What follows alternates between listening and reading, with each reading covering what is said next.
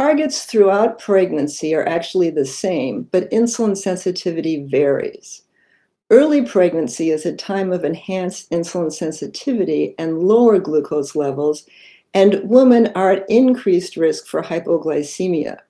This is particularly worrisome if a woman has hypoglycemia unawareness or a history of severe hypoglycemia, which means that it's very important to individualize targets early in pregnancy to avoid severe hypoglycemia and make sure that for all pregnant women, glucagon is available and their partner knows how to use it.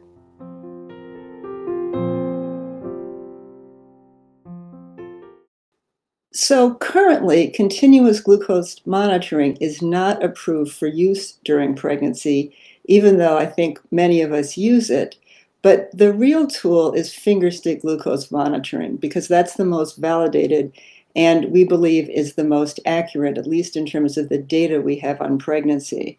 So make sure that women know this, have strips and meters available, make sure those strips are unexpired, and that they should be counseled to test their fingerstick glucose levels if their glucose levels are too low or too high, particularly unexpectedly. And often I'll have women just do a fingerstick in the morning just to be sure that their continuous glucose monitor is in fact working correctly and is appropriately calibrated.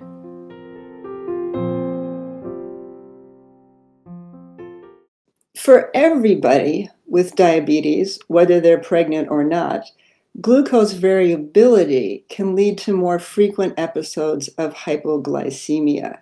And we all think about it that we want our patients to have pretty darn stable blood sugar levels. But this is particularly important in pregnancy where women are trying to reach lower targets. So, what we're thinking about when we treat our women is to help them deal with not only dosing insulin, but also adjusting for food, for exercise, for eating and dosing in a way that maintains their glucose levels within a really stable range without having fluctuations that go from really low to really high. And that will help them be safer and manage their glucose levels more effectively.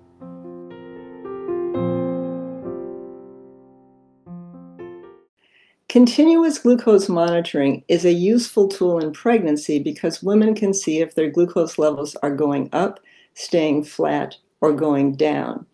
Particularly with regards to hypoglycemia, women can see if they're going low quickly or very quickly and do something to prevent a low. Often this means that they can consume a little bit less carbohydrate, say 5 to 10 grams of carbohydrate to prevent going low, which is less than the amount of carbohydrate they'd likely need to consume if they were low.